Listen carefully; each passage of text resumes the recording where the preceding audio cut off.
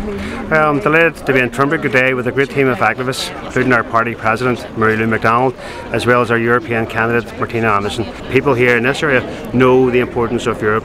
The community groups in this area know the importance of Europe because some of them have got peace monies throughout the last number of years here, which has allowed them sustainability and to make this area a better area and to make this area to go into the future here in a much more positive manner. So people are here up for the election here on the 23rd of May. People are up here to vote for Martina Anderson and it's great to see a big team of activists here in the heart of West Belfast today.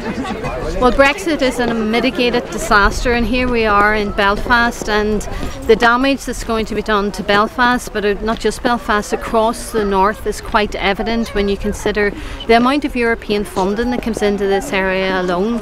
But any prospects of a hardening of the border on this island is absolutely unacceptable.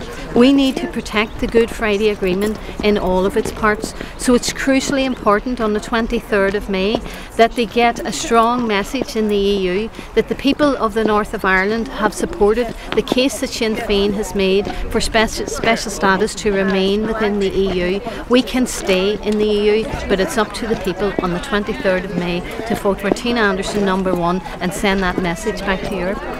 The importance of this election is that people need to come out and say again a big no to the Tory Brexit. And the way you do that is by voting number one for Martina Anderson. Martina has been a champion for Ireland in Europe and against Brexit. She has done outstanding work. And uh, I, I think it's very important that people stand together that we stand with Martina Anderson, that we stand for Ireland and against the Tory Brexit. So on the 23rd of May, people need to come out and again, by voting number one for Martina Anderson, make it very, very clear that Tory Brexit has no place in Ireland and that our country will not be the collateral damage in the Tory uh, Brexit strategy.